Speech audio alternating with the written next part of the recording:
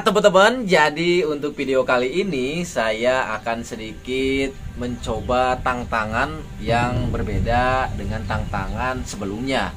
Tentunya di sini dengan media yang sempat beberapa kali kita bahas. Ya, ini adalah salah satu kalajengking Asian Forest Scorpion yang pada saat ini sedang musim-musimnya karena mengingat di kampung ini memang masih sangat banyak sekali dijumpai eh, serangga Asian Forest Scorpion seperti ini. Tak jarang ketika warga menemukan serangga ini jadi dibunuh.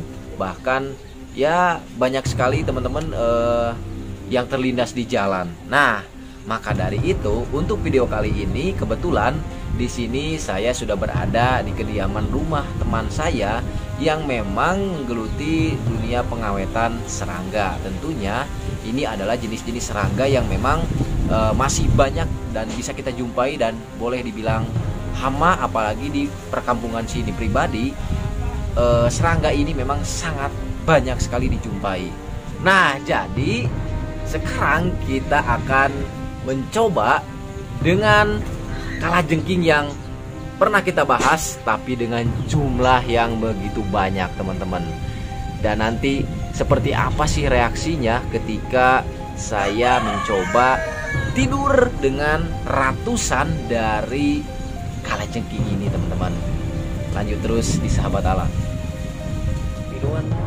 Nah teman-teman jadi saya sudah berada di depan ratusan mungkin ini ya bisa dibilang ratusan lah uh, kalajengking ya yang ada di sini. Wow, sungguh luar biasa. Jadi ini adalah hasil daripada penangkapan uh, warga di sini yang memang banyak sekali ditemukan ya di sekitaran perkampungan warga. Jadi sekali lagi hewan ini memang uh, masih menjadi hewan yang ditakuti bahkan dibunuh oleh warga karena memang ya ditakuti juga gitu teman-teman. Dan memang banyak sekali habitat kalajengking Asian Forest Scorpion ini di daerah ini. Kita akan coba kumpulkan dulu untuk kalajengkingnya teman-teman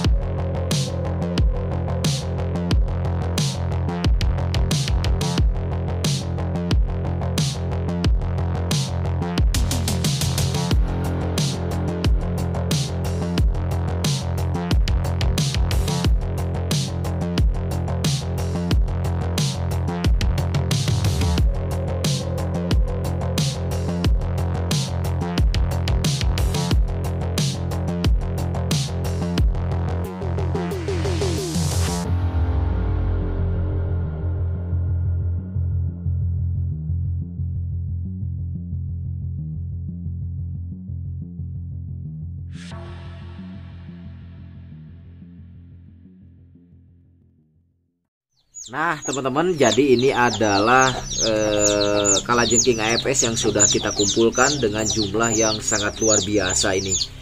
Dan ini dia rata-rata ekornya tuh warna merah ya, teman-teman. Artinya yang warna merah itu rasanya sedikit berbeda dengan yang warnanya biasa saja.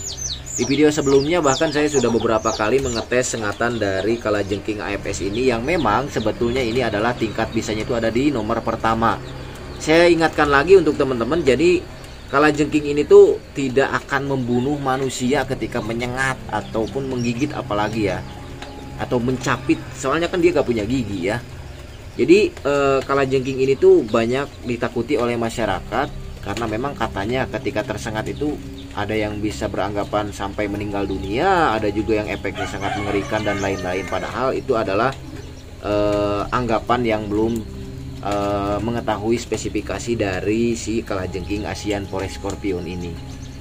Jadi ini adalah kalajengking terbesar di Indonesia memang untuk size-nya itu ya dia paling besar, tapi tingkat bisa atau racunnya itu ada di nomor satu. Artinya ya boleh dibilang low, tapi kategori low itu low-nya di kategori kalajengking ya, beda lagi low kalau di kategori reptil. Jadi nanti saya akan coba uh, mempraktekkan antisipasi bagaimana sih ketika di alam? Ya kan kita nggak tahu ya kalau di alam kita lagi camping tiba-tiba banyak hewan kayak gini keluar terus langkah kita tuh harus bagaimana? Nah saya akan mempraktekannya walaupun mungkin kata teman-teman ya ini sedikit konyol atau mungkin apalah. Jadi yang penting kita akan coba tes.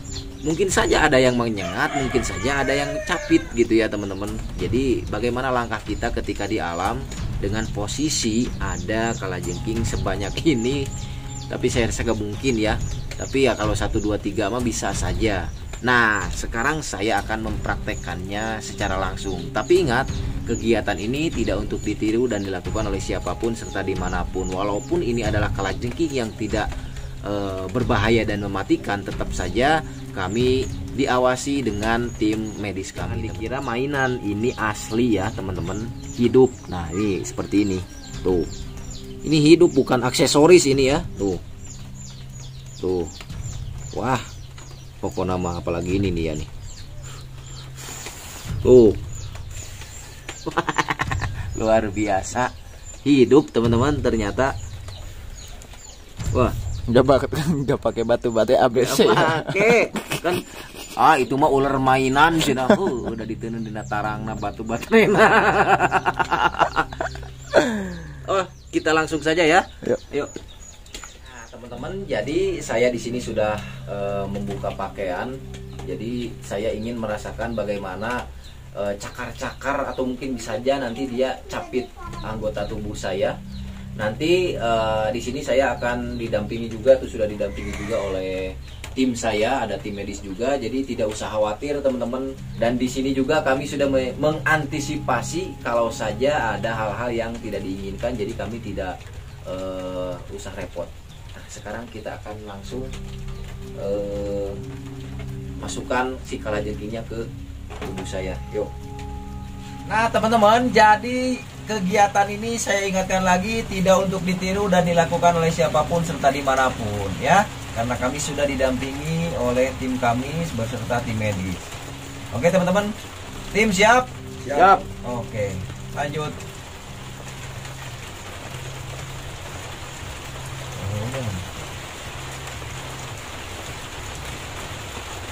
Tinggi kah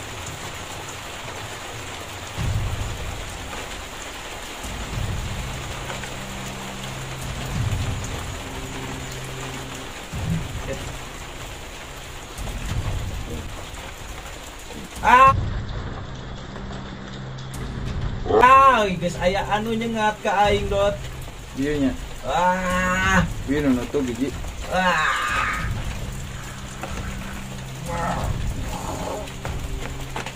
Terus emang, terus hmm, hmm kalau mulut.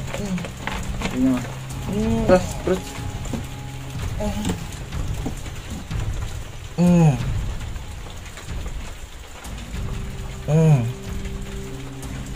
Ada dua kala jengking yang menyengat perut saya dan bagian punggung saya. Ada juga yang mencapit bagian tangan saya. Ada juga yang eh, nusuk eh, di bagian punggung saya.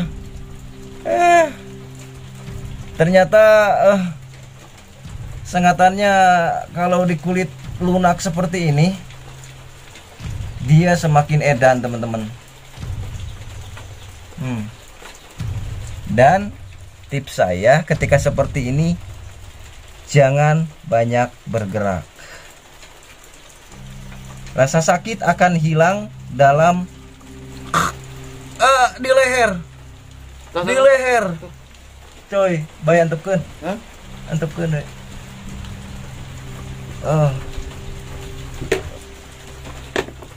Oh. Edan kieu. Euy. Uh. Di leher ada yang menyengat saya, teman-teman. Nanti mungkin setelah kita jere, eh, beres, kita akan melihat bagaimana eh, reaksi-reaksi terhadap kulit-kulit saya teman-teman eh. Ah. ini yang lebih parah sengatannya itu masih terasa sampai sekitar eh, berapa ya satu menitan lah mungkin kurang kurang lebih masih ada masih panas ya ya seperti inilah teman-teman jadi rasanya ternyata sama dengan kalajengking kalajengking eh, sebelumnya. Wow, luar biasa. Oh. Wah.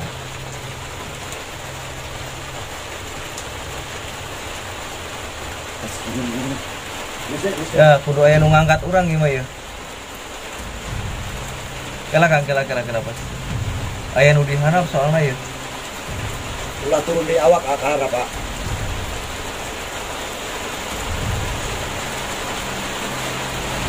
Wow. Nah, itu teman-teman. Jadi saya sudah mencoba tidur dengan ratusan kalajengking Asian Forest Scorpion. Alhasil ada beberapa sengatan yang tadi menyengat saya. Eh, yang pertama ada di bagian leher saya. Nah ini, ini satu. Terus yang ini satu. Nah, terus ada lagi mungkin di bagian belakang. Nah, nah Oh, bentar bentar. Ini mah masih ada bisanya, oi. wih. Oh, ada bisanya, Iman. Soalnya ini paling lama dia nancep nih. Oh. Ini paling lama dia nancep di bagian belakang. Itu teman-teman, jadi intinya dari video ini adalah kita ketika berada di hutan terus ada kalajengking yang menghampiri di tubuh kita itu yang pertama jangan ada gerakan yang mendadak. Dan alhasil tadi pun saya beberapa kali tersengat eh, di bagian leher, tangan serta di bagian punggung saya dan ya itu eh, lumayan sakit lah teman-teman ya. Dan sekali lagi kegiatan yang saya lakukan ini tidak untuk ditiru dan dilakukan oleh siapa pun serta di mana pun. Jangan lupa di like dan di subscribe channel Sahabat Alam. Nantikan video kami yang lebih ekstrim selanjutnya. Teman seperti biasa, jadi kali ini saya akan mengobati kembali dan sekaligus menginformasikan kepada teman-teman bahwasanya eh, yang saya dapati di sebuah daerah ketika tersengat oleh serangga khususnya kalajengking yang tadi kita bahas adalah dengan menggunakan bawang putih. Di video sebelumnya saya juga sudah pernah mempraktekannya dan kali ini juga sesuai dengan eh, daerah di sini bahwa bawang putih adalah obat untuk mengobati sengatan dari kalajengking. Nah, di sini kita akan coba langsung sekarang. Nah, ini bawang putihnya kan lihatin dulu. Nah, ini bawang putihnya teman-teman. Tinggal di olesin. Oh.